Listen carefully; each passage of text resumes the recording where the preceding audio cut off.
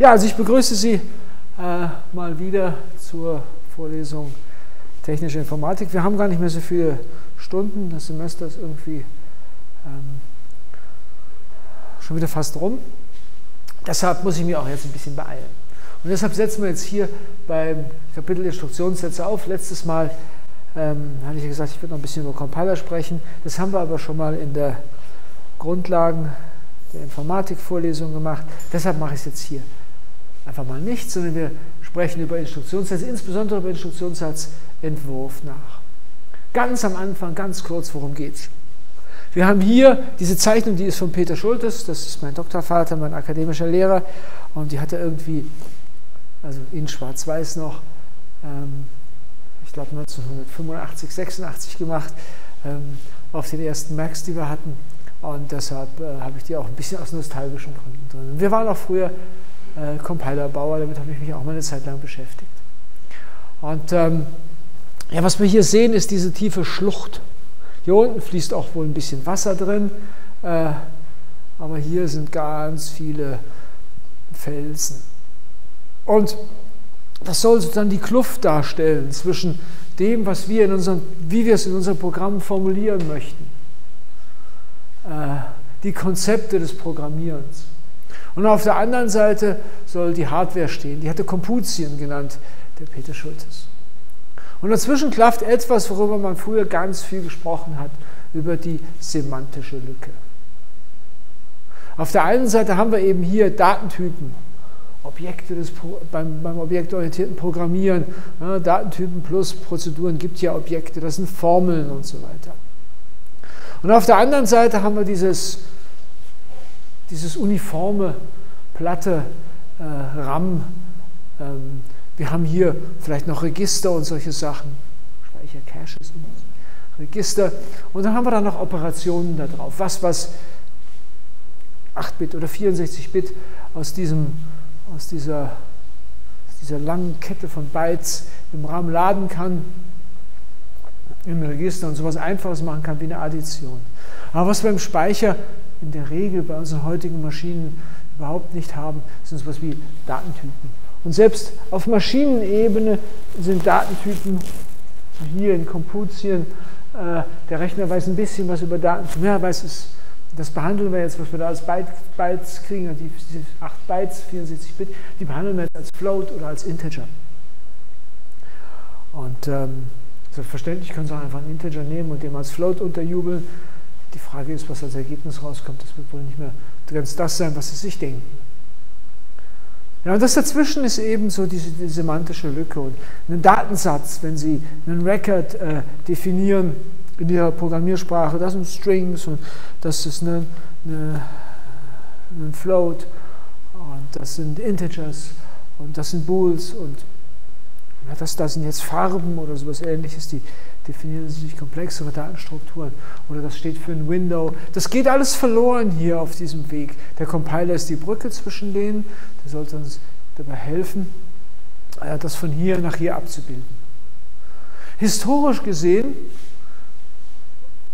so in den 60er, 70er Jahren haben die Leute sich gedacht, was können wir denn tun, damit diese, damit diese Kluft nicht so groß ist, die semantische Lücke nicht so groß ist. Wie kriegen wir die schmaler? Und da hat man sich gedacht, machen wir doch hier besonderen Speicher, besondere Operationen, die hier den Konzepten sehr nahe kommen. Wir könnten doch zum Beispiel hier Operationen implementieren, damit man ja, die, die Prozeduren unterstützen, Funktionen unterstützen. Also all diese Dinge, die zum Funktionsaufruf dazugehören, dass die hier schon dabei sind. Oder hier Datentypen äh, typisierten Speicher aufbauen, dass vorne an jedem Speicherwort ein paar Bits sind, die sagen, was es ist. Also über solche Dinge hat man nachgedacht, diese, diese Kluft von hier von rechts nach links zu schließen. Weil von links nach rechts ist es relativ einfach zu schließen. Wir machen unsere Programme, äh, ja, wir, wir haben eben nicht so etwas wie Datenstrukturen, sondern wir kümmern uns um alles sozusagen selber. Aber das will man natürlich nicht. Also war ein Versuch, das hier von rechts aufzufüllen, diese semantische Lücke. Wie gut das funktioniert hat, da kommen wir gleich nochmal darauf zurück. Also insgesamt, wir haben hier eine Menge von Befehlen und die operieren auf dem RAM. auf den Daten, die wir im Speicher liegen haben. Und jetzt muss man sich überlegen, welche Befehle brauchen wir, wie strukturieren wir das. Bei der MIMA hatten wir schon Befehle und andererseits, wir haben ja letztes Jahr ähm, Grundlagen der Informatik die Turing-Maschinen kennengelernt. Haben wir auch gesehen, dass es ja, Maschinen, was man kann, Maschinen konstruieren kann mit ganz ulkigen Befehlen und trotzdem kann man zeigen, dass, das, dass die alles berechnen kann, was es denn zu berechnen gibt. Hier wollen wir uns, hier müssen wir uns jetzt überlegen, wie machen wir diese Menge von Befehlen möglichst gut. Dass wir sie einerseits schnell ausführen können und andererseits die semantische Lücke nicht so groß ist. Darüber wollen wir jetzt reden. Als erstes muss ich da ähm, zu Programmiermodellen von Maschinen kommen. Eine ganz wichtige, ein ganz wichtiges Konzept äh, beim, beim halbwegs abstrakten Programmieren. Und das gilt für praktisch alle unsere Programmiersprachen, sind die Funktionen bzw. die Methoden, äh, die zu Objekten dazugehören. Prozeduren. So, eine Prozedur, das ist eben so eine Einheit von, von Statements, die sich um eine Aufgabe kümmern, ne? möglichst klar definierte Aufgabe. Da gibt es Schnittstellen, Daten rein, Daten raus. Also wir brauchen für solche, für solche Prozeduren mit ihren Parametern, die wollen wir ja auch dann im Objektprogramm, äh, Entschuldigung, im, im Object Code, im übersetzten Code, ja auch als, als Einheiten haben. Ne? Mehr oder weniger viele Assembler-Instruktionen hintereinander. Oben kommen die Parameter rein, unten kommen die Resultate raus. Es wäre also schon nützlich, wenn unsere Maschine irgendwie ein Modell hat, dass wir Parameter auf irgendwo hinlegen, in einen Speicherbereich zum Beispiel. Und wenn die Prozedur fertig ist, sind die abgeräumt und es liegt an der Stelle das Resultat da. Also wir brauchen, der Aufrufende, der muss irgendwie Platz äh, für Parameter schaffen und für die erwarteten Resultate. Das muss er äh, allozieren, diesen Platz. Und der Gerufene braucht zwischendurch noch ein bisschen Platz für lokale Variablen.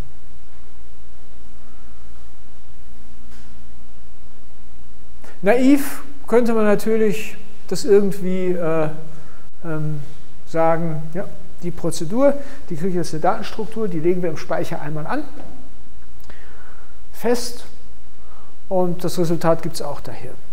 Das Dumme ist bloß, dann kann man die Prozedur nicht, nicht öfters hintereinander aus sich selber heraus aufrufen. Rekursive Funktionen gehen auf diese Weise nicht. Wir brauchen also irgendwie was, dass man das dynamisch anlegen kann.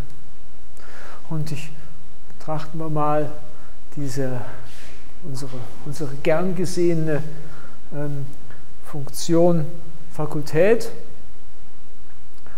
Und ähm, ja, wenn, wir, wenn wir die falsch machen, ne, äh, die Fakultät, dann hätten wir, wenn wir hier nur irgendwo im Speicher das n hinlegen würden und das Resultat irgendwo anders hätten und das dann rekursiv laufen lassen würden, ähm, hier so, Fakultät von n, if n gleich 1, return 1, else return Fakultät von n minus 1 mal n, ähm, dann würde es eben genau nicht funktionieren, wenn wir nur im Speicher diese beiden hier hätten. Wenn wir das n irgendwo hinlegen würden und dann würden wir hier als Parameter dann ähm, das n1 reduzieren und da hinlegen, dann steht jetzt hier plötzlich nur noch 2, das 3 wäre schon mal verloren, dann machen wir das nochmal, dann steht hier 1. Und beim Rausgehen hätten wir dann hier für das n, wenn wir nur einen festen Platz hätten, eben nur immer noch die 1 da stehen, da wird 1 rauskommen bei der Fakultät von 3. Und das ist offensichtlich falsch. Also müssen wir bei so einem Aufruf, gerade bei der Rekursivität, und die brauchen wir ja, das haben wir gesehen, für ganz viele Probleme, ähm, obwohl man auch alles iterativ formulieren kann, hätten wir gerne zum Beispiel die Rekursivität für Listenverarbeitung und Baumverarbeitung insbesondere. Also müssen wir das irgendwie ein bisschen anders anstellen und wir brauchen den Stack. Da haben wir hier so einen Stack Pointer. Ich habe hier SP dahingeschrieben, Stack Pointer. Und dieser Stack Pointer, der guckt immer in die Mitte zwischen dem Resultat und den Parametern. Wenn wir also hier im Assembler-Programm, ich habe das nicht richtig Assembler geschrieben, sondern mit so einem Pseudocode Assembler geschrieben, aber Sie sehen hier diese Funktion, die wir hier oben als C aufgeschrieben hatten, hier in so einem Pseudocode aufgeschrieben, das ist also die Fakultät von 3. Ähm, die wird aufgerufen und dann, falls Memory an der Stelle Stack Pointer, das zeigt ja genau hier hin. Ne? Stack Pointer zeigt hier hin und Memory an der Stelle Stack Pointer, wenn wir das als Adressen begreifen, dann ist das eben dieser Parameter, ne? das n hier. Wenn das gleich 1 ist, dann schreiben wir hier ins Resultat Memory an der Stelle Stack Pointer minus 1, hier weiter unten, ne? schreiben wir da eine 1 rein und springen zurück, machen den Return.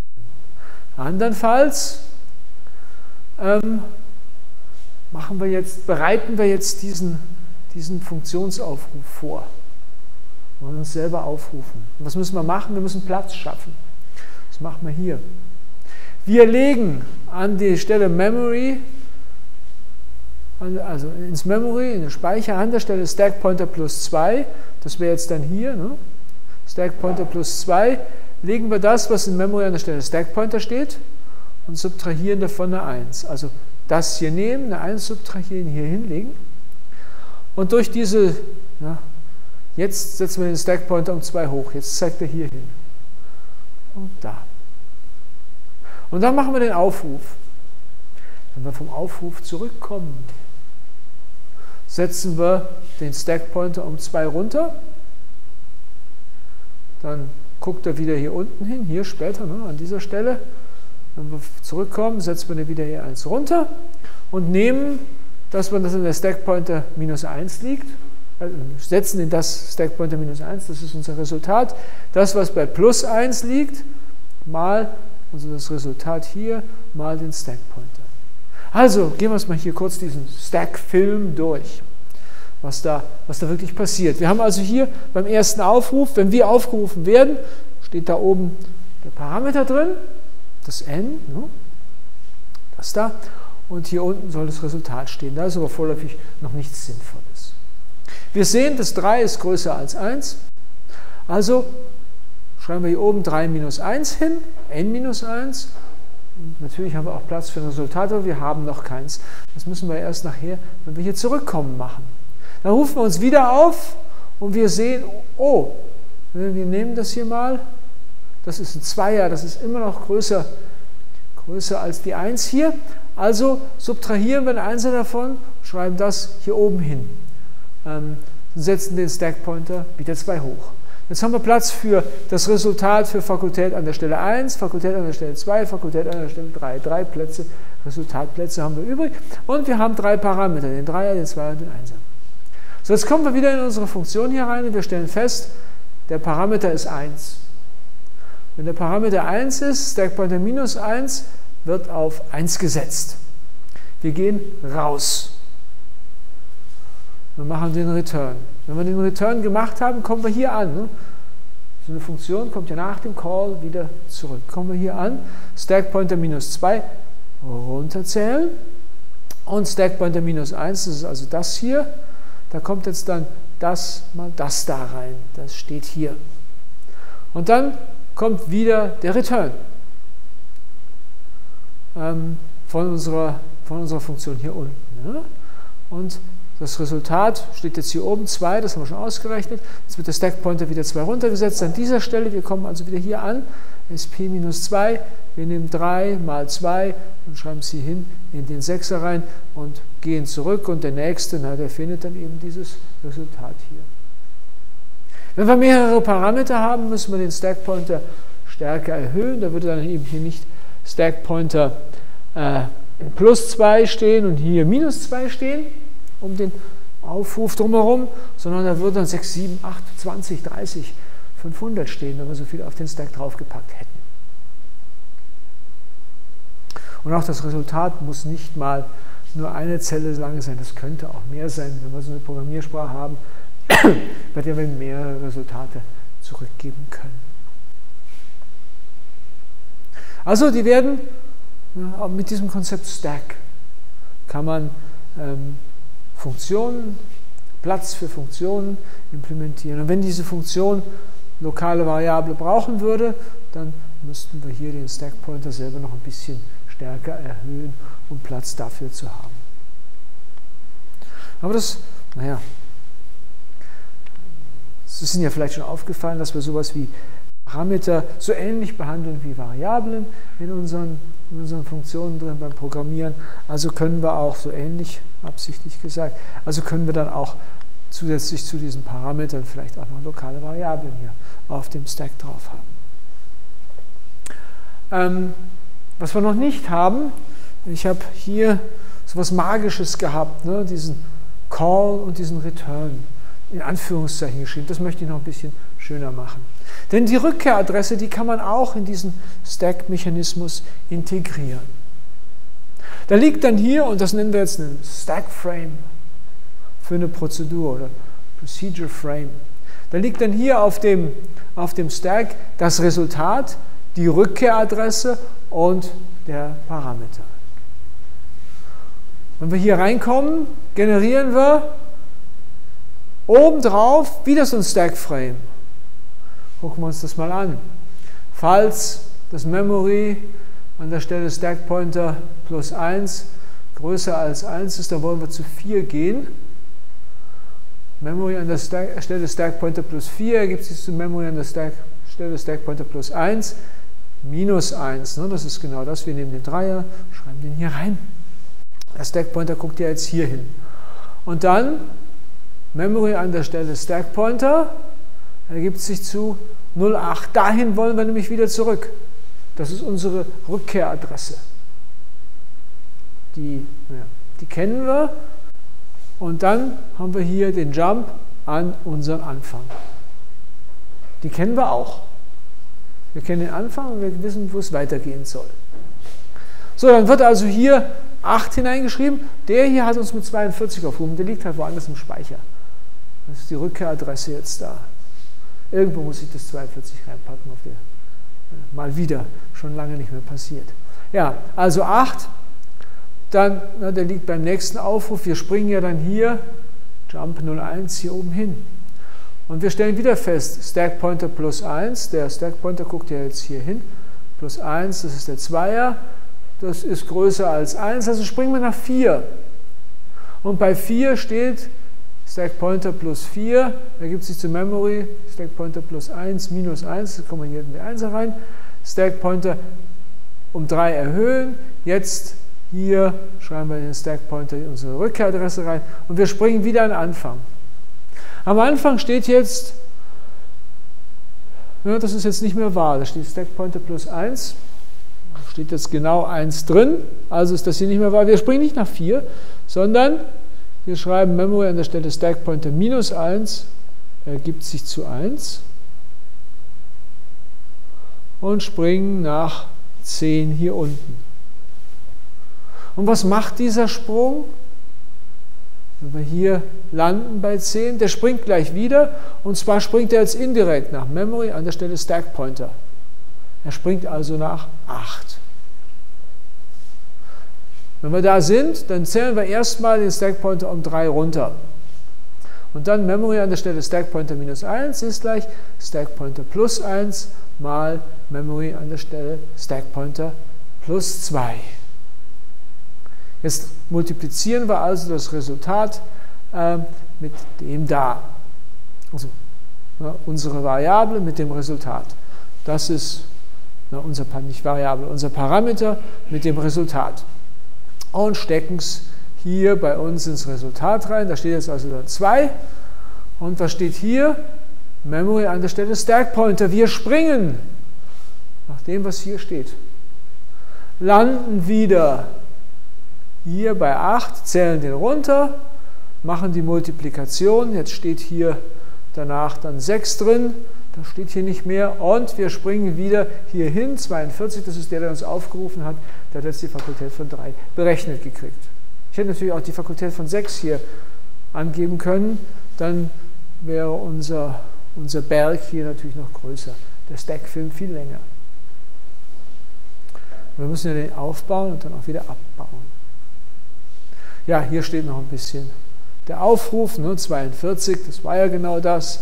Also, Memory an der Stelle Stack Pointer plus 4 ergibt sich zu 3, das ist der Parameter. Dann äh, brauchen wir auch, ähm, dann wird das hier raufgezählt, der Stack Pointer. Wir schreiben die Rückkehradresse ein, das da, und springen hier nach 1, werde ich vielleicht auch 01 schreiben können springen hier vorne hin. Und wenn wir zurückkommen, Stack Pointer minus 3 und dann steht eben hier im Stack Pointer, äh, wenn das hier wieder runtergezählt ist, äh, plus 1 das Resultat. Ne, plus 2 das Resultat. Denn die braucht ja auch was. Ähm, die 6, die wir zurückgekriegt haben. Also so kann man das organisieren, dass man Funktionen aufrufen kann, und ihre Parameter, lokalen Variablen und die Resultate anlegt. Und das geht dann so dynamisch nach oben. Das nennt man ähm, äh, Stack Frames für die Prozedur. Und wenn Sie in die Bagger reinhüpfen, ähm, dann ist auch das Erste, was der Debugger macht, schauen, in welcher äh, Funktion wir sind. Und dann schaut er in dem Stack Frame nach und findet raus, welche lokalen Variablen wir haben und welche Parameter wir mitgekriegt haben. Und hier ist nochmal so ein Stackframe aufgezeichnet. Dieses Modell, wie unsere Instruktionen ausgeführt werden, das hier war ein wichtiges Beispiel dafür, da gibt es noch ein paar andere Randbedingungen. Ähm, das nennt man auch, ja, das gehört zum Maschinenmodell dazu. Also es geht nicht nur darum, wie viele Register wir haben, sondern es geht auch darum, ähm, wie solche dynamischen Strukturen vernünftig aufgehoben werden. Es gibt auch andere Maschinen, äh, bei denen der Stack das komplette Maschinenmodell ist, bei der alle Variablen auf dem Stack liegen, bei der man ja, sowas wie Speicher eigentlich gar nicht hat, das RAM, sondern wo man, da wird dann der Stack komplett auf das RAM abgebildet, so, so P-Code-Maschinen oder auch die Java Virtual Machine, ähm, da steckt so ein Modell dahinter mit einem Stack, ein komplettes Stack-Modell. Das hier ist das Stack-Modell von der ähm, ja, Druckerprogrammiersprache PostScript. Und Sie sehen, da ist auch hier, da liegen hier oben ein Parameter, paar Parameter, hier, ach, da fehlt leider ähm, die 34 hier oben drin, die muss ich nochmal eintragen. Wenn wir addieren, nimmt die Maschine zwei, zwei Zellen von dem Stack runter und packt das Ergebnis wieder oben drauf. Wenn ich jetzt hier schreibe 7, dann geht dieser Stack von diesem Zustand in den hier über, weil hier über dem 38 jetzt noch die 7 liegt. Dann sage ich äh, multiplizieren, dann wird die 7 mit der 38 multipliziert dann kommt das hier raus. Dann sage ich Exchange, da werden die beiden hier ausgetauscht. Sie sehen, die beiden obersten werden ausgetauscht. Dann sage ich dividieren, 266 durch 3. Ähm, da muss dann vielleicht noch ein bisschen gerundet werden. Dann kommt 88 raus. Ähm, und dann können wir hier weitermachen, die 88 ausgeben irgendwo oder nochmal was anderes damit machen. ja, da liegen auch Strings da drauf rum, Pointer auf diesem Stack und der Zeiger, der wackelt da so, äh, was heißt wackelt, geht nach oben, nach unten, so, so ein Füllstand vom Stack. Wir haben ja bei Speicherstrukturen schon mal in den Grundlagen der Informatik über den Stack gesprochen. Also das ist geeignet als Maschinenmodell, so ein Stack. Und für Teile der Ausführung ähm, äh, für diese Procedure Frames ähm, benutzt man Stacks immer. Da bildet man einen Stack auf das RAM ab. Und dazu braucht allerdings dann die Maschine etwas, einen Register als Stackpointer. Eines von unseren Registern muss als Stackpointer auf die Seite gelegt werden. Oder wir implementieren, so wie wir das Instruktionsadressregister und das Instruktionsregister hatten, auch noch ein Stackpointer-Register in unserer Hardware, damit wir das mit den Procedure Frames richtig hinkriegen. Und das, äh, das äh, findet man in vielen Prozessoren wieder. Wir kommen auch noch mal an einem Beispiel vorbei. Ja, für den Rest der, der Variablen, mit denen wir arbeiten. Wir hatten in der MIMA so eine, so eine Architektur, bei der wir ein Register hatten, den Akku, und dann auch Speicher. Und wenn wir addieren wollten, dann haben wir den einen Operanden von der Addition aus dem, den einen Summanden aus dem Akku gekriegt, den anderen aus dem Speicher. Wir könnten uns natürlich auch eine Maschinenarchitektur überlegen, das hat man auch gemacht, bei der es sowas wie Register überhaupt nicht gibt, bei der es nur Speicher gibt. Und wenn wir addieren wollen, dann müssen wir dann in unsere Instruktion zwei Adressen reinschreiben für die Operanden. Bei der MIMA hatten wir nur eine, der Akkumulator war implizit als Operand. Aber wir könnten natürlich auch zwei Adressen reinschreiben. Ah, gibt noch ein kleines Problem, das Resultat muss auch irgendwo hin. Also bräuchten wir eigentlich drei Adressen bei so einer Speicher-Speichermaschine. Ein Load gibt es da nicht, da gibt es nur ein Move von dieser Adresse an diese Adresse. Also solche Speicher-Speichermaschinen kann man sich durchaus denken. Und die gibt es auch. Es gibt Maschinen, denen liegt für die Daten so ein Registermodell zugrunde. Registermodell im Sinne von äh, entweder ein Akkumulator oder mehrere von diesen General Purpose Registers. General Purpose Register, ähm, da können wir Adressen drin aufheben und Daten aufheben. Über das mit den Adressen aufheben, wozu man eigentlich Adressen in Registern braucht, da kommen wir gleich noch dazu. Und solche General Purpose Register, da gibt es dann Operationen, die das Register in den Speicher schaffen und den Speicher ins Register schaffen. Das sind Load-Store-Architekturen. Und unser, äh, unsere MIMA war keine richtige Load-Store-Architektur, weil wir ja auch den, im Addierbefehl ins Memory reingegangen sind. Es gibt Architekturen und wir werden die kennenlernen und das ist auch das, was man heute macht. Ähm, bei allen RISC-Maschinen, ja, darüber ist das Stichwort, muss ich noch sprechen. Äh, man lädt grundsätzlich, man rechnet grundsätzlich nichts, in der Instruktion zumindest, nichts mit etwas, was in Memory steht, sondern man muss erst Load-Instruktionen, mehrere, um die Sachen in Register zu kriegen. Dann werden Register miteinander verknüpft, addieren, subtrahieren, multiplizieren oder sonst was. Und das Resultat steht dann wieder in einem Register und das Register kann man in den Speicher zurückschreiben. Klingt erst umständlich, aber bewerten wollen wir das ein bisschen später. Noch. Jetzt wollen wir es noch nicht bewerten. Dann würde man sich als nächstes denken, hm, Register, hört sich irgendwie ganz gut an. Wir machen einfach ganz viele und dann brauchen wir überhaupt das RAM nicht mehr. Aber das ist wieder ein Problem. Wir müssen ja in unseren Befehlen irgendwie sagen, mit welchem Register wird jetzt gearbeitet. Und je mehr Bits wir brauchen, um die Register, das richtige Register auszusuchen, desto länger werden unsere Befehle. Und am Ende haben wir doch wieder nur Adressen drinstehen. Also das ist vielleicht auch nicht, das ist so ein Kompromiss ähm, zwischen Anzahl Bits, um die, das, die Register in der Instruktion auszusuchen und ähm, ja, maximaler Länge äh, von Instruktionen, da kommen wir auch nochmal drauf. Wenn wir eigentlich wenig Register haben, müssen wir die ganze Zeit rumschaufeln. Ah, dieses Register, wir brauchen jetzt gerade mal ein frisches Register. Wir haben aber insgesamt nur vier, na, dann muss das weichen.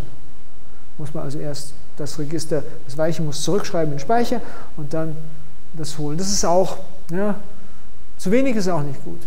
Ich habe jetzt nochmal einen Vergleich hier unten für ähm, C. Äh, ist das, äh, soll das Resultat der Addition von A und B erhalten. Bei einem Stack würden wir erstmal das A auf den Stack drauf schaffen, also Speicher holen, auf den Stack drauf schaffen, das B auf den Stack drauf schaffen, dann addieren und dann das C nehmen und irgendwo anders hinstecken. Es gibt, gab übrigens mal äh, die, die besten Taschenrechner, die man kaufen konnte, diese Hewlett Packard Taschenrechner, ähm, als ich in die Schule gegangen bin, die hatten so ein Stack-Modell.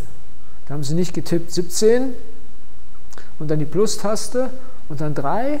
Dann haben Sie getippt 17 Enter, 3 Enter und dann haben Sie auf Plus gedrückt. So eine Postfix-Notation. Äh, das wäre das Stack-Modell zur Ausführung. Wenn wir das Stack-Modell benutzen, brauchen wir gar keine Register. Und dafür gibt es auch Architekturen, die das gut implementieren. Hat aber auch Probleme natürlich, denn es ist immer irgendwelche Offsets. Hier, das hier ist die MIMA, ne? ein Akkumulator und sonst Speicher. A laden ins Register, dann B addieren, das muss aus dem Speicher kommen und dann wieder zurückschreiben. Das sind nur drei Instruktionen, das kommt einem schon auf den ersten Blick irgendwie schlauer vor. Allerdings wissen wir ja auch, dass dieses Addieren in Wirklichkeit so zwei Instruktionen sind. Da steckt ja irgendwie auch eine Ladevariable dahinter noch und dann erst die Addition. Andererseits, wenn man das geschickt integriert, kann man vielleicht Zyklen sparen. Wir müssen auch nur eine Instruktion aus dem Speicher holen und nicht zwei. Da muss man auch nochmal hingucken. Dann gibt es die Register-Speicheroperationen und das hier das sind die Intel-Instruktionen. Äh, der von, diejenigen von Ihnen, die schon mal Intel Assembler programmiert haben oder im Debugger sich den Intel-Code angesehen haben, denen wird sowas hier bekannt vorkommen. Also, Move, naja, hm, so ähnlich sind die Intel-Instruktionen, nicht ganz so. Hier schaffen wir, und die Richtung stimmt noch nicht, ne? schaffen wir das A ins Register R1, addieren das B zum Register R1 und schreiben das R1 dann ins C, in die Variable C im Speicher zurück. Und das hier ist so eine Load-Store-Architektur. Schaff bitte das, was bei der Adresse A steht, ins R1, schaff bitte, was bei B steht, ins R2, addiere das 2 zum R1 und steck's ins R3 und dann schafft das R3 ins C. Intuitiv oder ich möchte sagen naiv glaubt man, dass das hier besser ist als das hier. Es stellt sich heraus, dass es doch nicht so ist, aber das müssen wir erst diskutieren. Das müssen wir erst bearbeiten. Also das hier, äh, ich glaube, da habe ich mich vom 68.000er Assembler äh, inspirieren lassen, als ich das geschrieben habe. Ich soll es vielleicht mal als Intel hinschreiben. Diese General Purpose Register, habe ich gesagt, da können Daten drin stehen und vielleicht auch Adressen. Und genau das, die Adressen, naja, Adressen sind ja Pointer. Aber wir bräuchten zum Beispiel auch vielleicht einen Stack Pointer oder so einen Procedure Frame Pointer. Wenn wir genügend von diesen General Purpose Registern haben, sagen wir mal, wir haben 32. Für 32 Register, um die zu adressieren, brauchen wir 5 Bit in der Instruktion, um ein Register zu äh, adressieren. Wir könnten ja, sagen wir mal, das 31 als Stack Pointer nehmen und das 30 als Procedure Frame ja, und für Spezialzwecke des Compilers auch noch das 29 und das 28 verbrauchen.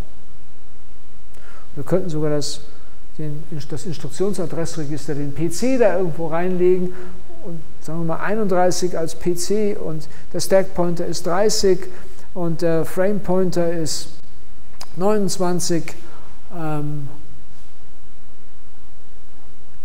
und so weiter. Also das, das könnte man schon auch machen. Und das wird übrigens so gemacht. Es gibt Befehle mit zwei Operanden.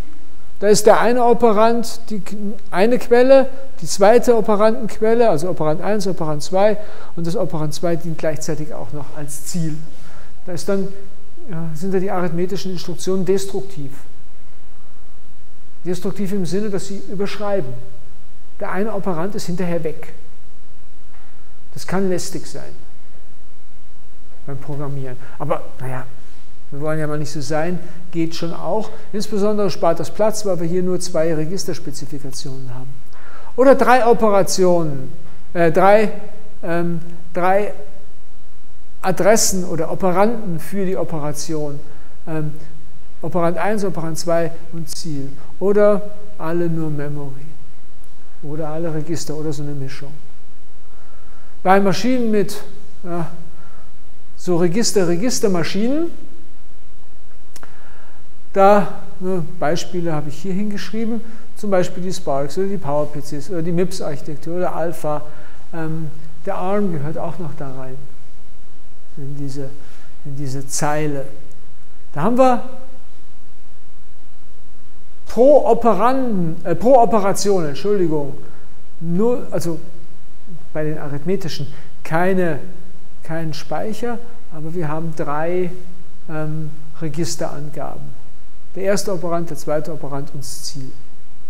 Der Vorteil ist, dass man relativ einfach, dass man, ja, weil keine Adressen äh, da drin vorkommen in den Befehlen, ähm, mal eine, mal zwei, mal drei Adressen, können wir Festbefehlslänge haben. Ne?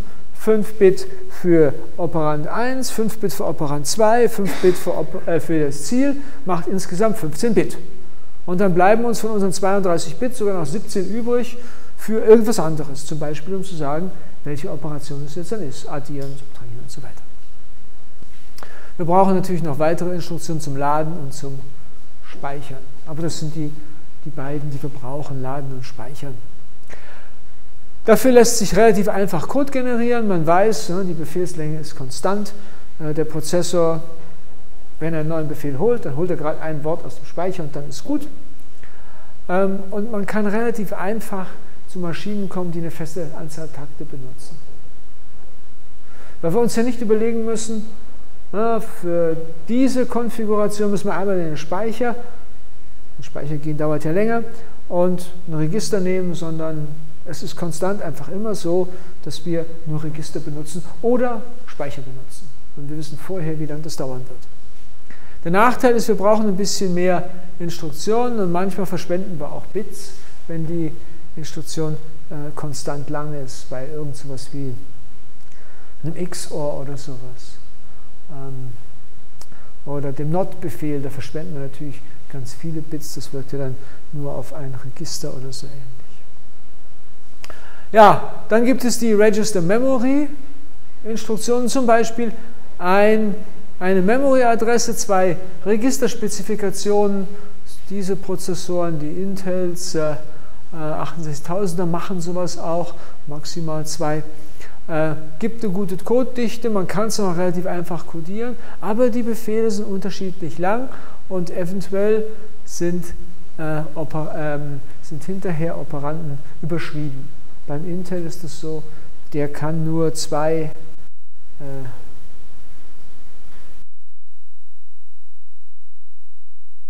immer auf Resultat.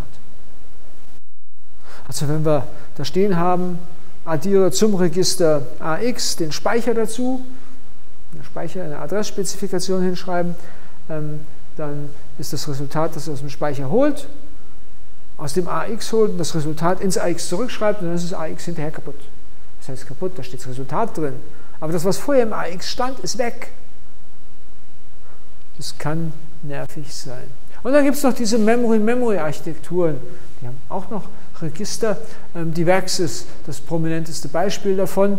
Da können wir drei Adressen in einem Befehl drin stehen haben. Und dann holt er zwei Sachen aus dem Speicher, addiert die und schreibt es gleich wieder in den Speicher zurück. Oder wir können zwei äh, Adressen drin stehen haben und ein Register. Oder ein Register und eine Adresse und eine Adresse, wo sie zurückgeschrieben werden soll. Völlig orthogonal, flexibel. Die Werksarchitektur. Und die Werksarchitektur ist so eine, da hat man versucht, die semantische Lücke kleiner zu kriegen. Da gibt es auch Spezialinstruktionen, um Funktionen aufzurufen. Da sagt man, schreibt man eine Adresse rein, wo es hingehen soll und der Rest wird und die Anzahl Parameter und was, welche Register gerettet werden sollen und der Rest wird gemacht. Ähm, ungeheuer praktisch eigentlich und die semantische Lücke ist kleiner damit. Allerdings sind die Befehle unterschiedlich lang, wir kommen gleich nochmal drauf, die können ein paar Byte lang werden oder solche Dinge mit vielen Bytes lang. Ähm, man sagt auch, dass der Speicherflaschenhals durch solche Architekturen äh, äh, ja noch enger wird oder, oder stärker zum Tragen kommt und die Taktanzahl pro Befehl kann wild unterschiedlich sein.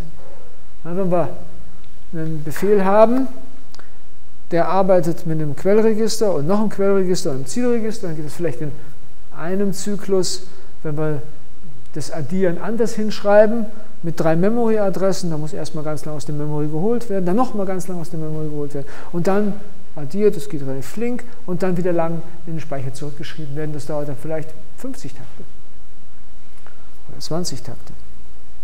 Also ähm, diese unterschiedliche Taktanzahl, die ist vielleicht störend. Um jetzt äh, ja, zum Instruktionssatzdesign noch ein bisschen mehr das äh, ja, auszu zu arbeiten, was eigentlich in der Instruktion drinstehen soll. Ähm, da möchte ich, muss ich über die Operanten reden, einerseits, und also welche Sorten von Operanten es gibt. Und andererseits über das Adressieren sprechen. Und das Adressieren, das, ähm, ja, da, da muss man noch ein bisschen mehr ausholen, als wir es bisher gemacht haben.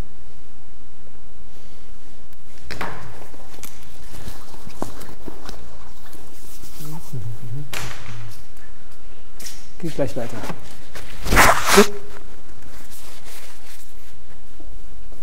So, da muss man ein bisschen mehr ausholen. Erstens die Operandenlänge.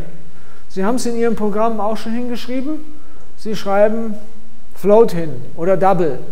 Das hat natürlich Implikationen. Ein Float ist 32 Bit lang, ein Double ist 64 Bit lang. Sie schreiben einen Short hin, 16 Bit. Sie schreiben einen Character dahin, Sie wollen einen Buchstaben haben, Sie kriegen 8 Das ist für uns ganz natürlich, dass wir das so hinschreiben. Der Compiler macht natürlich was draus. Wenn der einen Character lädt, dann muss er dafür sorgen, dass von dieser Adresse der Buchstabe, der steht irgendwo im Speicher, wir haben die Adresse darauf, der darauf zeigt, dieser Buchstabe geholt wird und ins Register geschrieben wird, in ein Register. Und wenn das Register 64 Bit lang ist, dann sind es nur die die 8 interessant für uns. Der Rest wird mit Nullen aufgefüllt. Wenn wir eigentlich einen Integer laden, dann wird das Register nicht mit Nullen aufgefüllt, sondern mit dem vordersten Bit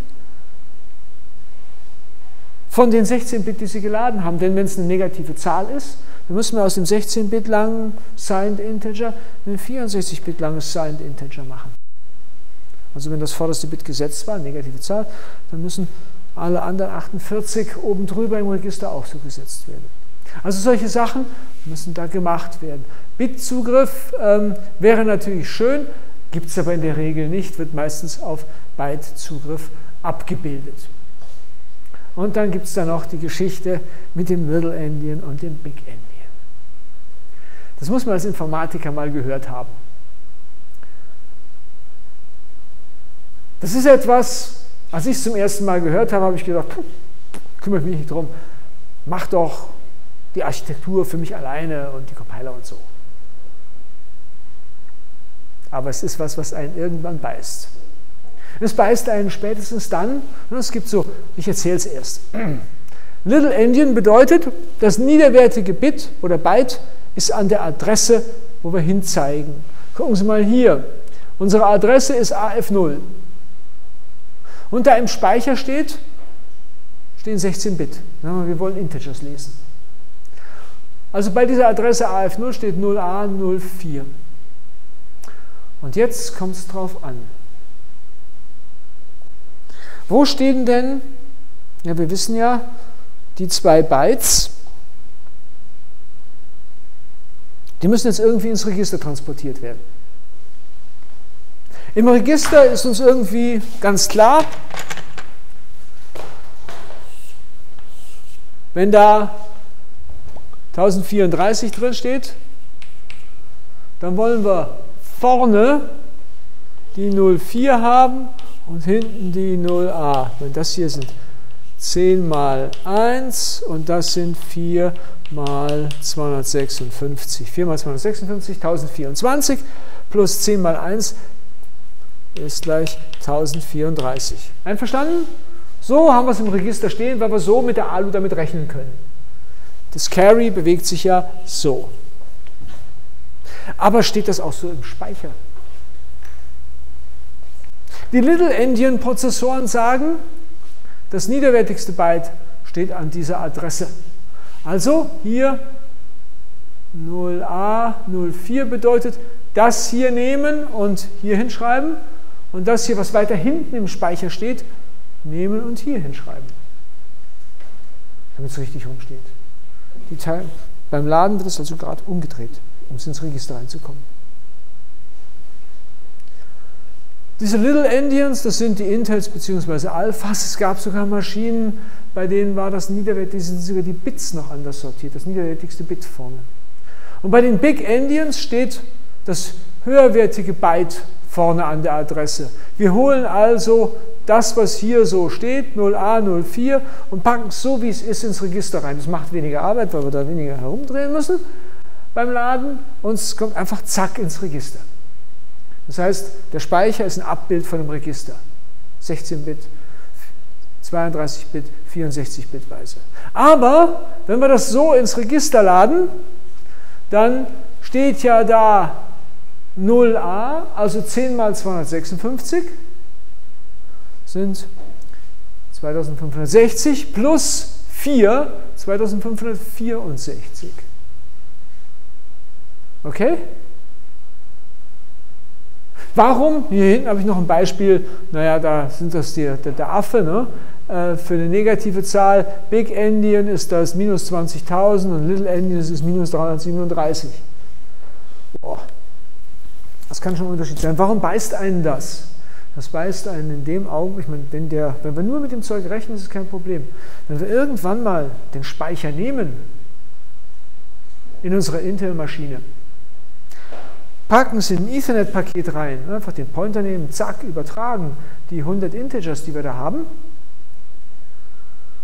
400 Byte übertragen für ne, 32-Bit-Integers und der andere, also wir machen es auf einer Little Endian-Maschine, eine Big Endian-Maschine nimmt das, unsere Zahlen, aus dem Ethernet-Paket ab in den Speicher, was ist dann? Dann steht es alles falsch da. Dann wird aus der 1034 auf dem, auf dem Little Endian was wir verschickt haben, 2564. Beim Kontostand Plus ist das gut. Beim Kontostand Minus ist das vielleicht ein bisschen mistig. Also Sie sehen, wir haben da vielleicht schon ein Problem, wenn wir uns nicht darum kümmern. Und das ist genau das. Irgendwann beißt es einen bei der Kommunikation. Wenn man es auf eine Datei rausschreibt, das Zeug, einfach so, und dann die CD, auf CD brennt, mit der CD zu einer Maschine hingeht, reinsteckt, einliest. Ups, beim String stört es nicht, bei Integers und Floats kann es schnell mal stören. Also da muss man sich dann drum kümmern. Und in der Vorlesung Rechnernetze ähm, kommen wir auch bei, so einem, bei solchen Standards vorbei, die sich genau um sowas kümmern, mit sowas beschäftigen. Ich will noch ein Wort zum, zum Alignment sagen.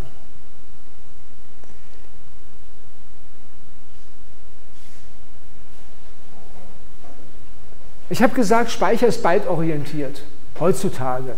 Es gibt auch Maschinenarchitekturen, bei denen ist der Speicher nicht byte-orientiert, sondern 32-Bit oder 64-Bit orientiert. Aber, oder 48-Bit orientiert. Aber in der Regel, heutzutage ist unser Speicher byte-orientiert. Wir rechnen mit Pointern, mit denen wir einzelne Bytes ansprechen können. Das haben Sie auch schon gesehen bei Stringverarbeitung. Ne? Da gibt man das in String durch und zählt immer eins drauf und schon gut. Beim C-Programmieren, wenn wir einen Array haben, einen, einen Double Array, und wir zählen zu unserem Pointer eins dazu, dann, also zu diesem Double Pointer eins dazu, dann wird da magisch unten drunter 8 addiert. Weil der Compiler die Semantik kennt dieses Zeigers. Ne? Wenn wir den Zeiger als Pointer to Double deklarieren, dann wird, wenn wir den, auf den Zeiger dann 1 draufrechnen oder Zeiger plus plus oder sowas machen, immer gleich 8 dazu addiert. Das kennen wir ja. Die Frage ist aber, wie liegen solche Sachen eigentlich im Speicher? Und das muss ja beim Reinholen irgendwie bearbeitet werden. Aus dem Speicher wird immer ein ganzes Wort geholt. Wenn Sie eine 32-Bit-Architektur haben, dann werden immer 32 Bit geholt. Wenn Sie eine 64-Bit-Architektur haben, wird bei jedem Speicherzugriff 64 Bit geholt. Egal, wo der Pointer hinguckte. Wenn der Pointer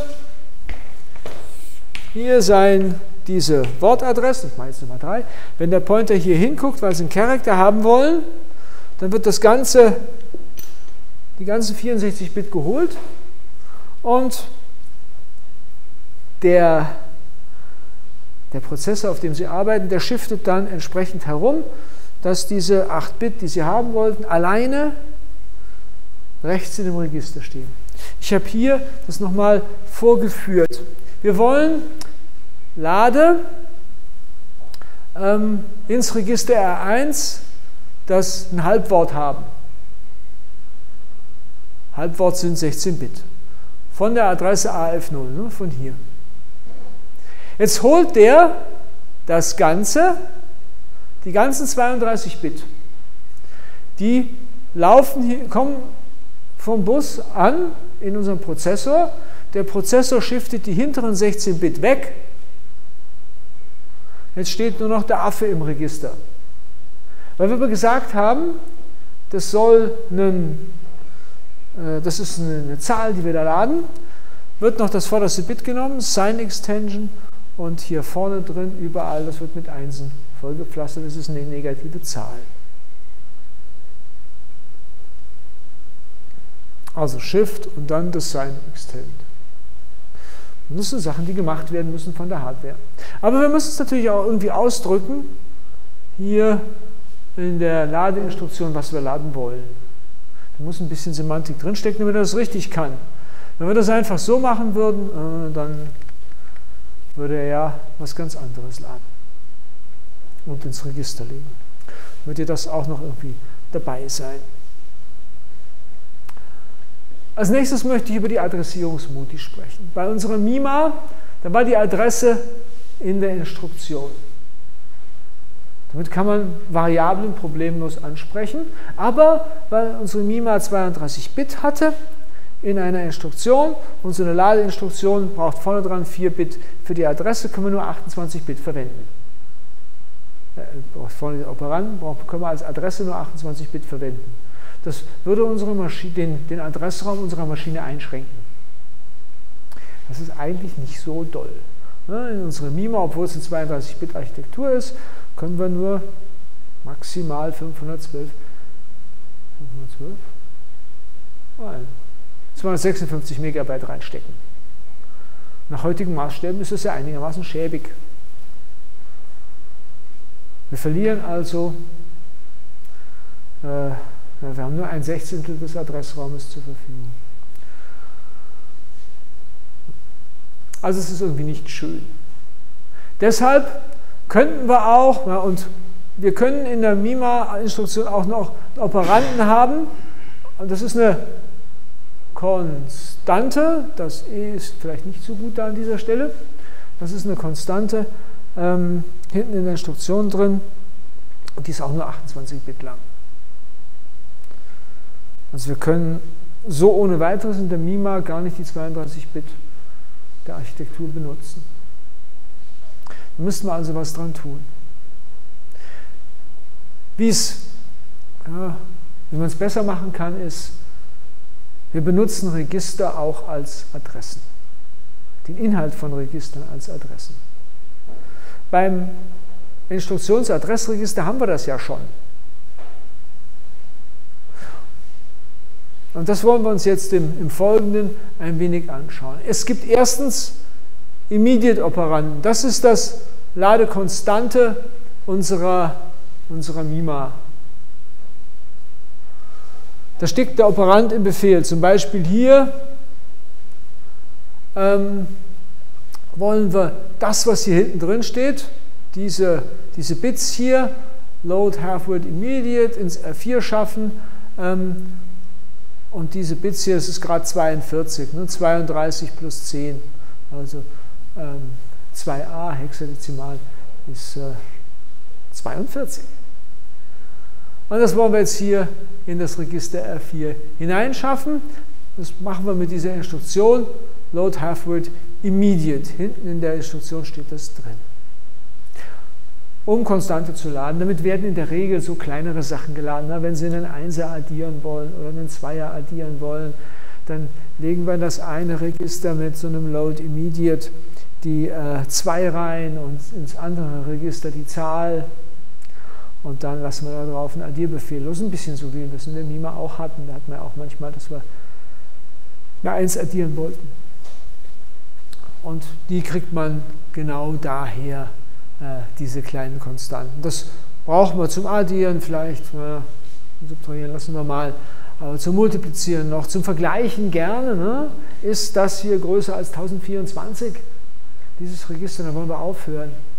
Die 1024 müssen wir irgendwo herkriegen, die müssen irgendwie in ein Register kommen, die kommen von so einem Immediate-Operanten.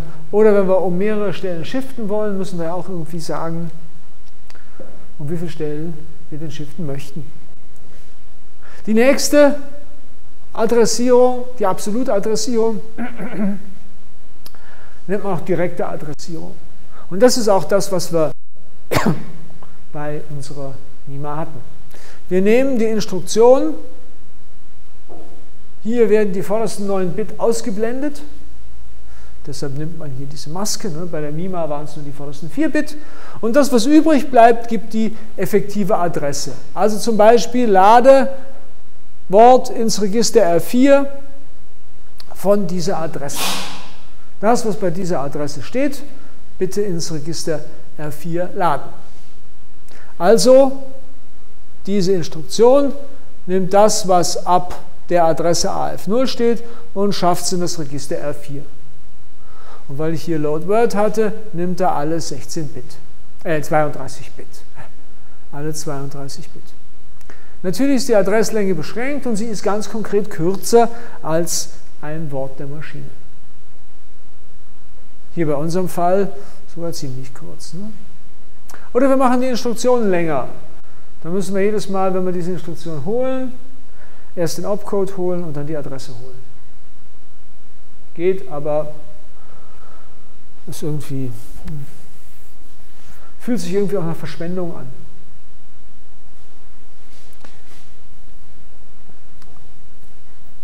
eigentlich sehr beliebt und in unseren Maschinen irgendwie weit verbreitet, ist diese Register indirekte Adressierung. Also die, Effekte, die Effective Address, die wir benutzen, die steht im Register Rn. Wir laden das, worauf das Register R3 guckt, hier.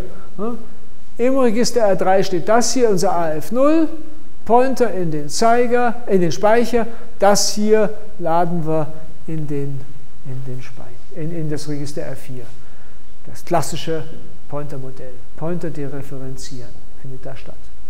Und das ist was, ne, da sind Sie wahrscheinlich einig mit mir, das braucht man schon in der Maschinenarchitektur und dass die MIMA das nicht hatte, ist nicht schön.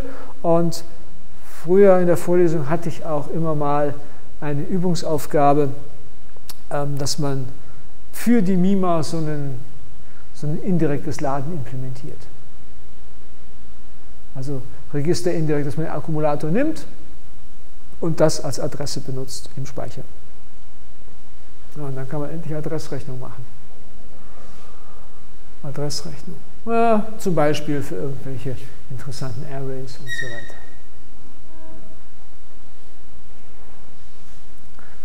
Dazu gehört dieses Bild. Dann Register Indirect with Displacement. Das Displacement das ist eine Instruktion, die brauchen wir beim Zugriff auf Felder in Records. Ich werde es gleich noch erläutern, aber erst wie die Instruktion funktioniert. Man nehme das Register, addiere noch irgendwas drauf, dieses Displacement 4 oder 44 oder 42. Ähm, in diesem Fall äh, addieren wir 12 dazu. Ähm, ja, 12. Warum habe ich hier 12 stehen und da A? Das ist vielleicht nicht so gut. Dann würden wir lieber, wenn, wenn das hier 12 ist, dann muss hier natürlich C stehen. Und wenn da hier A steht, muss hier natürlich 10 stehen. Dezimal 10 stehen. Verzeihung, da ist was nicht in Ordnung. Also das hier wird auf das hier addiert. Das gibt dann die Adresse, mit der wir in den Speicher gehen. Und dann holen wir eben ab Adresse äh, B00 und nicht AF0. Naja, da steht zufälligerweise dasselbe, da kann ich auch nochmal austauschen in der Zeichnung. Vielleicht sollte ich die mal überarbeiten.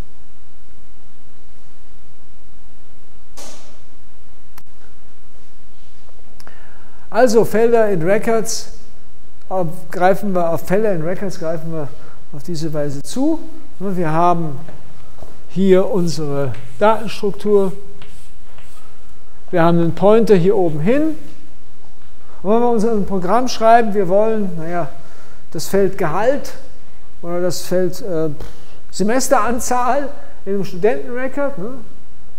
Hier vorne steht Ihre Matrikelnummer. Ähm, hier steht Ihr Geburtsdatum meinetwegen. Hier steht die ähm, Semesteranzahl. Da müssen wir den Pointer nehmen, ein bisschen was drauf addieren, damit wir hier hinkommen. Dann können wir es laden. Das hier ist das Displacement. Und das ist der Zeiger auf Ihren Record.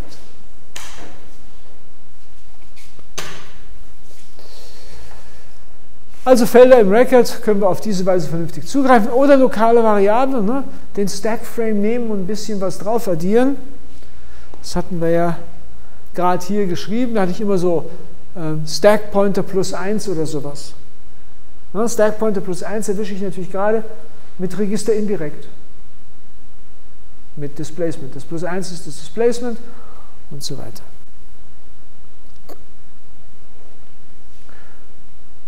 Die Adresslänge ähm, bei absoluten ist beschränkt. Bei diesen hier ist sie so groß wie das Register. Also wenn Sie ein 32-Bit-Register haben, dann können Sie auf diese Weise 2 auf 32 minus 1 Bytes im Speicher adressieren. Die 4 GB von der 32-Bit-Architektur. Bei einer 64-Bit-Architektur können Sie 2 auf 64 minus 1 adressieren, aber ähm, so viel RAM in den Computer reinzustecken, ist wahrscheinlich noch ein bisschen teuer.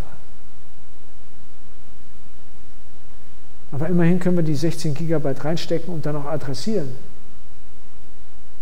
Das Betriebssystem muss übrigens auch noch dazu passen. Ne? Also ein 32-Bit-Betriebssystem in einen 64-Bit-Rechner zu installieren und 32 GB RAM reinzustecken.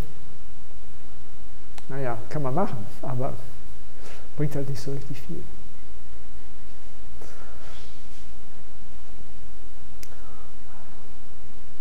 Uns bringt es irgendwie auch nicht 64-Bit-Betriebssystem auf einem 32-Bit-Architektur äh, zu installieren natürlich. Also, hier sind die Adressen auch beim Displacement nach wie vor 32 Bit lang. Wenn wir eine Adresse ganz oben im Speicher nehmen, addieren ein großes Displacement drauf, haben wir vielleicht ein Problem. Also Überlauf könnte auch passieren. Das sind ja wichtige Adressierungen, diese hier. Um die semantische Lücke kleiner zu kriegen, haben sich die Leute noch ganz viel mehr überlegt. Die haben sich zum Beispiel überlegt, Register Indirect with Index. Man nehme zwei Register, um die effektive Adresse zu berechnen. Wir nehmen also hier Load Byte ins R4 hinein, das R3, das ist das, der Basispointer vom String. Und dann haben wir noch einen weiteren Pointer im String oder einen Zähler für in den String ähm, den wir dazu zählen. Ne? Also hier zum Beispiel bei Character Arrays haben wir hier unseren, unseren Schleifenzähler, hier die Basisadresse und wenn wir dann das, äh, den String an der Stelle i erwischen wollen, dann nehmen wir das Register vom i, addieren es hier dazu und äh, na, hier bei 13 würden wir dann eben ähm, äh, hier hinten landen. Ne? Wenn das Register R3, der Basispointer von unserem String AF0 ist und wir addieren Hex 13 dazu, kommen wir eben genau hier hin und lesen also einen Buchstaben. Und der steht dann hinterher, dieser Buchstabe in unserem Register drin. Ja, Gerade für den Schleifenindex und den Basiszeiger in den Vektor ist das ja, gut, prima geeignet. Könnte man sich auch wünschen. Der Purist würde sagen, pass mal auf, dann nimmst du deinen Index, addierst ihn zu diesem Basiszähler dazu, äh, Basispointer dazu, schreibst es in ein weiteres Register und dann wird so adressiert. Brauchen tut man es nicht wirklich. Auch das hier braucht man nicht wirklich. Man kann das hier auf addiere das Displacement zum R3, schreibe es ins R5 und mache dann lade Low Word nach R3 R5 indirekt. Kann man natürlich machen. Also die Puristen würden das jetzt antworten. Dann hat es noch, und jetzt reden wir wieder über diese Maschinen, die die semantische Lücke klein kriegen wollen, noch ein paar mehr Adressierungsarten. Ich meine, es ist geschichtlich auch so entstanden, da gibt es den einen äh, den, den Joe, der macht die Maschineninstruktionen und der Jim ein Büro weiter, schreibt den Compiler und Jim hat gerade ein Problem im Compiler zu lösen und läuft zu Joe rüber und sagt, kannst du mir nicht noch schnell die Instruktion einbauen? Und der Joe sagt, ach ja, das geht eigentlich, machen wir noch eine. Auf die Weise kriegt man natürlich immer mehr Instruktionen. Ne? Und das wäre noch schön und das wäre noch schön und das wäre noch schön. Ja, es gibt auch noch dieses Register Indirect with Index äh, multiplied with scale, also effektive Adresse ist gleich Register nehmen, 1 nehmen, die Basisadresse und dann das RI des Indexregister und dann noch skalieren. Also zum Beispiel 44 mal R2 kommt aufs R3 dazu. Ja, das ist für einen Vektor mit Elementen, die größer sind, ein ganzes Feld, also ein, ein, ein Array of Records, ne? ein Array of Structures. AOS. Also mit dem könnte man mit dieser Instruktion, äh, ja, könnte man das machen. Hier haben wir Index 3 mal 44, gibt dann äh, Hex 74, das wird hier drauf addiert und schwupp sind wir hier im Speicher, wenn wir diese Instruktion hinschreiben. Ja, irgendwie kann man schon sehen, dass das mal nützlich sein könnte. Ah, für, für sowas da. Und jetzt gibt es noch den Speicher indirekt. Das hat man sich auch irgendwann mal einfallen lassen. Und zwar gibt es ganz konkret auch einen Anwendungszweck dafür. Wenn Sie einen Pointer haben,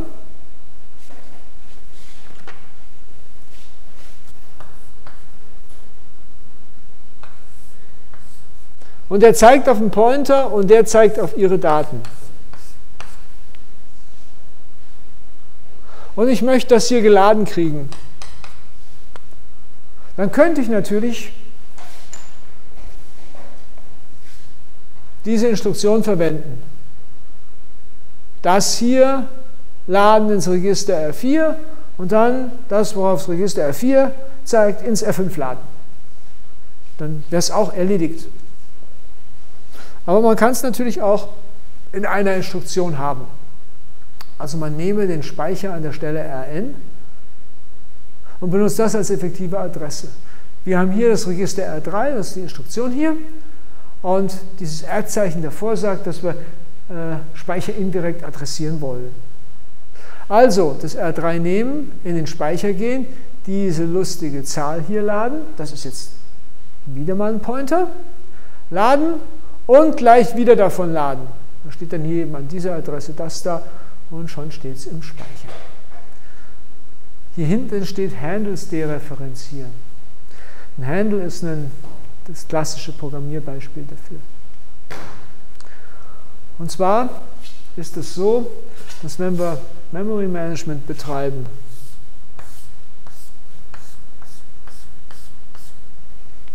also wir legen im Speicher dynamisch an und werfen auch wieder dynamisch weg, so mit Allocate und solchen Sachen. Dann kann es ja sein, dass unser Heap irgendwann mal ja, ganz stark fragmentiert ist. Das haben wir auch schon mal besprochen. Sie erinnern sich vielleicht. Ja, wenn man immer mal wieder unterschiedlich große Stückchen anlegt und wieder wegwirft, dann gibt es da einen 27, nein nicht 27, 32 äh, Byte, die frei sind und da 28 und da äh, 1000 und da noch 1000 und da noch 1000 und da noch 500 und da noch 70 aber die sind so versprenkelt. Das passiert uns übrigens auch auf der Festplatte zu Hause. Dafür gibt es Defragmentieren, das haben Sie vielleicht schon mal benutzt. Wer hat schon mal eine Festplatte defragmentiert? Ah, Sie, da gibt es ja welche. Ähm, das Problem ist, dass man, wenn man immer anlegt und wieder wegwirft und wieder anlegt und wieder wegwirft, dass man eben lauter kleine einzelne Plätzchen frei hat. Und wenn man dann was Großes haben will, dann findet man keinen kontinuierlichen Speicherplatz mehr dafür. Also kann man, könnte man ja auch alles zusammenrücken und dann hat man wieder äh, zusammenhängenden Speicherplatz für auch was Größeres. Das ist die Hoffnung. Aber bei dem Zusammenschieben, da werden ja tatsächlich die Inhalte bewegt. Wenn ich jetzt einen Pointer habe,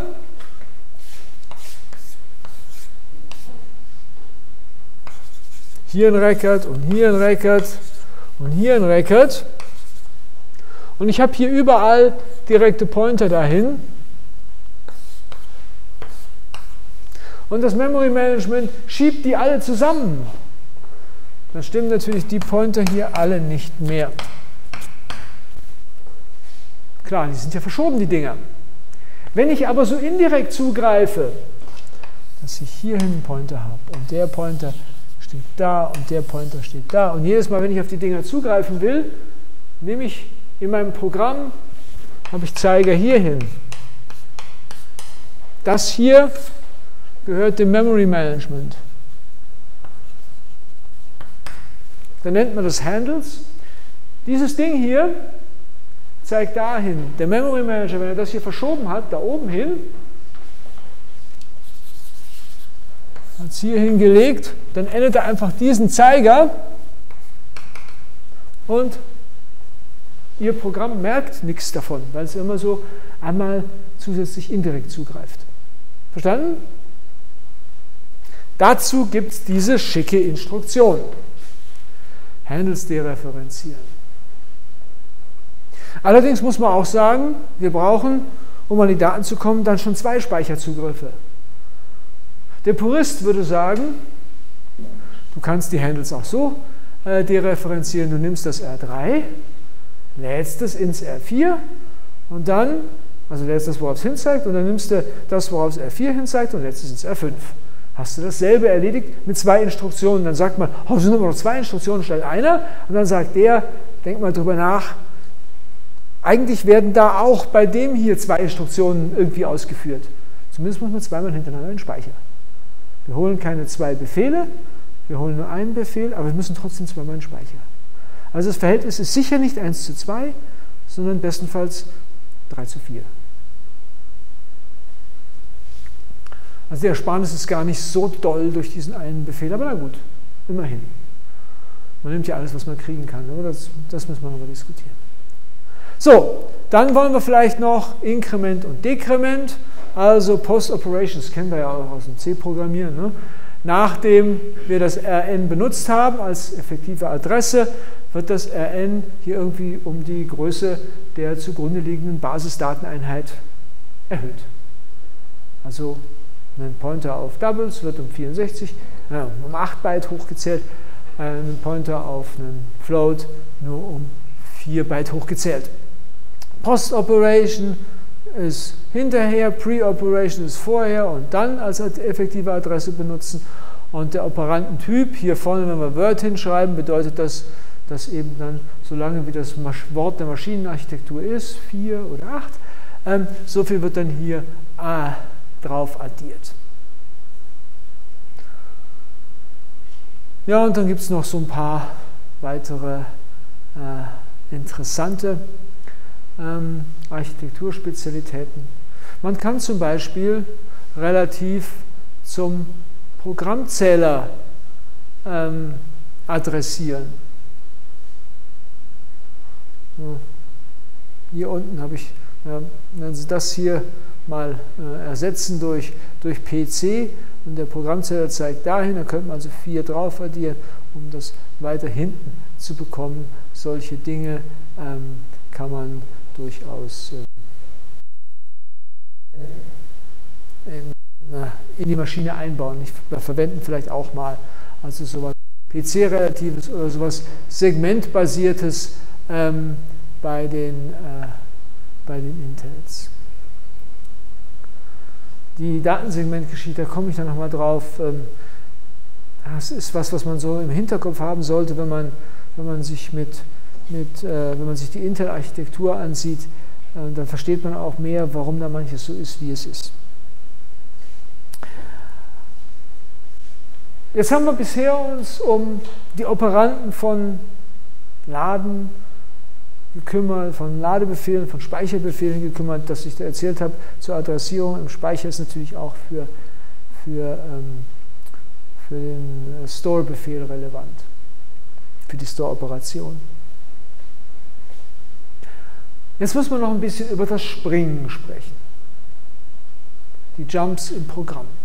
Unsere Mima hatte auch einen, zwei sogar. Den Jump an eine feste Adresse, und jedes Mal, wenn man dem Jump vorbeikommt, wird bestimmt gesprungen. Und dann gibt es noch den Conditional Jump. Den brauchen wir, ja, es ist uns irgendwie unmittelbar klar, den werden wir brauchen, den Conditional Jump. Die Frage ist aber, wohin wird gesprungen? Da gibt es die PC-relative Springerei. Die ist eigentlich ganz vernünftig. Das ist sowas wie ja, bei den normalen äh, Ladeoperationen, ne, ist da plus ein Displacement. Und beim Springen ist sowas ja, ziemlich gut, ziemlich brauchbar. PC, man nehme den Programmzähler als Instruktionsadressregister und addiere oder subtrahiere ein kleines Displacement.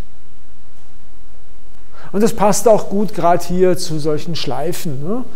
Wir, falls das Register R4 größer als 0 oder ungleich 0 ist, not equal 0, branch not equal 0, wir testen das R4 und wenn es tatsächlich ungleich 0 ist, springen wir hier oben hin zurück. Und das ist die klassische Schleife. Jetzt zählen wir hier von dem R4 ähm, zählen wir, also subtrahieren wir eine Einser, hm, 1 runterzählen, wir, wir äh, lassen die Schleife 87 mal laufen, also vorher ins R4 87 reinschreiben, dann hier reingehen, dann wird immer subtrahiert und hier unten testen wir, ob wir schon bei 0 sind und wenn wir noch nicht bei 0 sind, springen wir zurück. Wir springen also 87 mal zurück und einmal springen wir nicht. Sowas wollen wir irgendwie effizient haben, dass es kompakt in einem Befehl stehen kann, ohne dass wir ins Memory müssen. Zum Beispiel für diese hier. Interessant ist übrigens noch, dass dieser Code positionsunabhängig ist. Egal, wo Sie den Speicher hinpacken, er funktioniert immer. Was wir bei der MIMA hatten, das war nicht so schön. Wenn wir den Code irgendwo anders hin in den Speicher legen, hätten wir die Speicheradressen umrechnen müssen. Hier brauchen wir die nicht umzurechnen. Das ist egal, wo das hinkommt, das ist relativer Code. Wir springen zum Programmzähler minus 20. Wir nehmen uns also den Programmzähler, der zeigt uns inzwischen auf das nächste Wort hier und zählen 20 runter und dann landen wir hier oben. Machen wir 100, 104, 108, ähm, 112, 116, 120, 20 runter, dann sind wir wieder da oben. Ähm, die Sprungadressen können aber auch im Register stehen oder ja, dann springen wir eben Register indirekt. Äh, wir könnten auch äh, uns das, äh, das Ziel, also entweder nehmen wir das Ziel nur Rn oder vielleicht Rn plus Ri, also hier nochmal so ein, so ein Register als Displacement draufrechnen.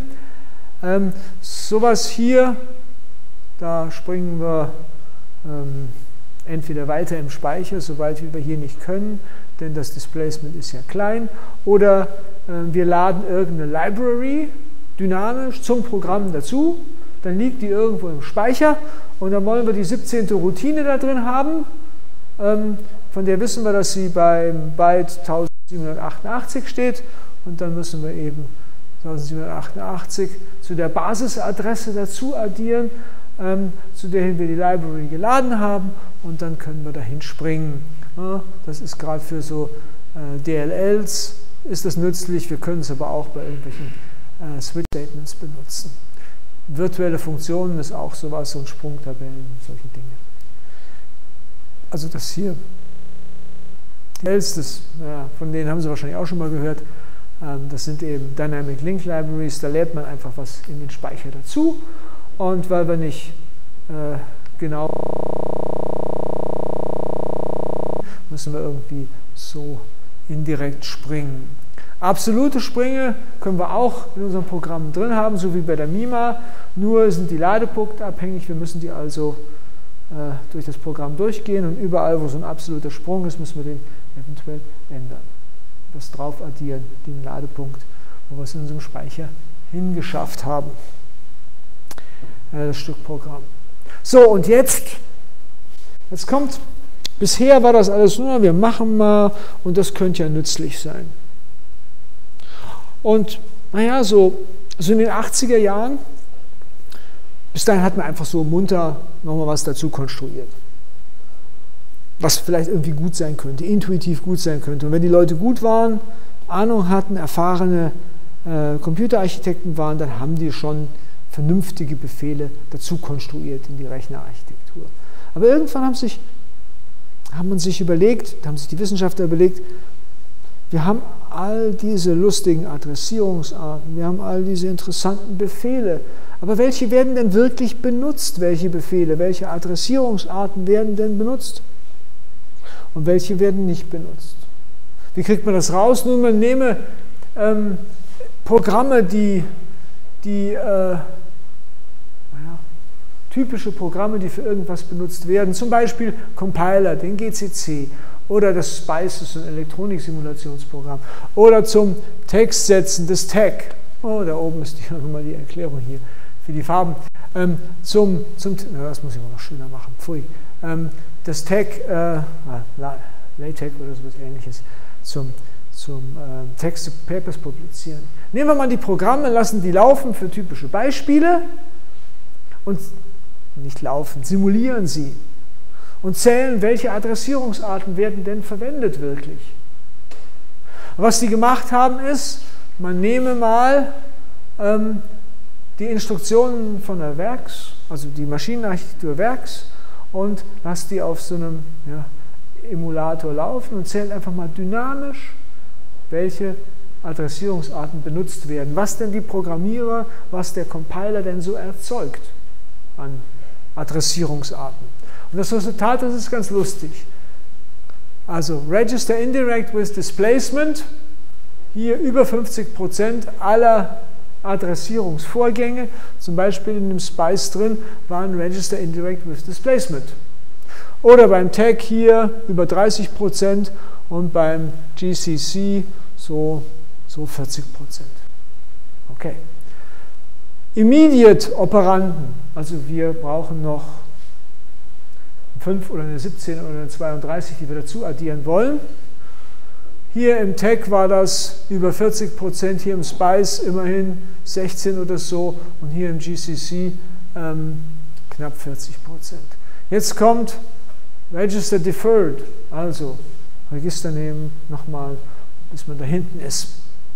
Und Sie sehen hier im Spice war das ganz wenig. Oder Scaled, diese, ähm, diese hier, diese Instruktion, selten.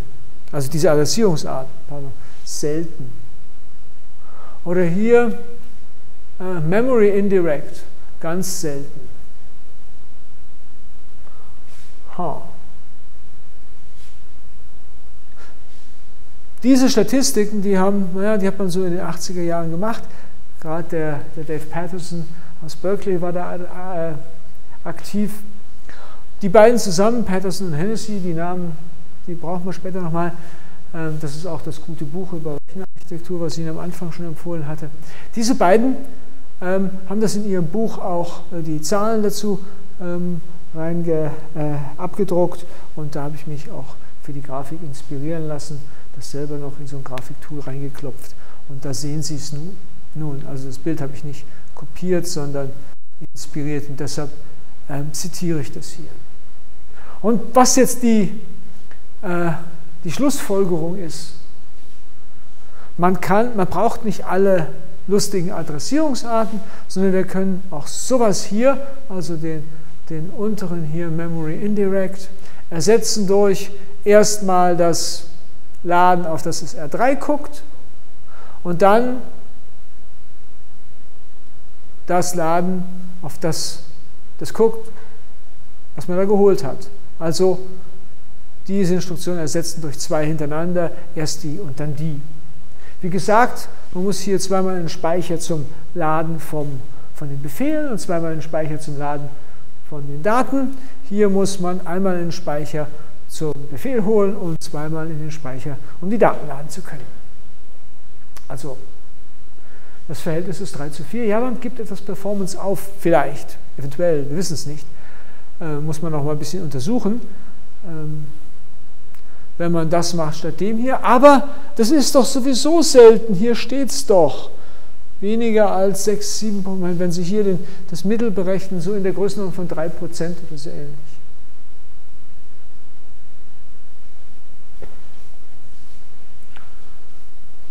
Beim Instruktionssatzentwurf muss, kann man sich überlegen, eigentlich brauchen wir sowieso nur Instruktionen, Adressierungsmodi, die Compiler auch generieren. Denn das Assembler-Programmiererei ist wenig geworden. Und wenn dann, wenn die Leute Assembler programmieren, dann feintunen die irgendwelche Geschichten, die, äh, die schnell laufen müssen. Also kurze Programmteile. Und dann wissen die auch, was sie tun. Und das sind sowieso ja, dann schon die Guten, die sowas machen. Die seltenen Adressierungsarten, die kann man ersetzen, so wie hier. Die können wir vielleicht einfach weglassen.